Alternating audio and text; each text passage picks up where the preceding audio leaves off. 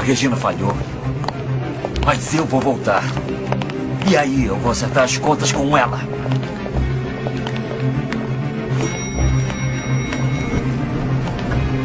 Geraldo Oliveira, você está preso. Para daí. Vamos. Calma, calma, calma. Me solta. Calma. Me solta.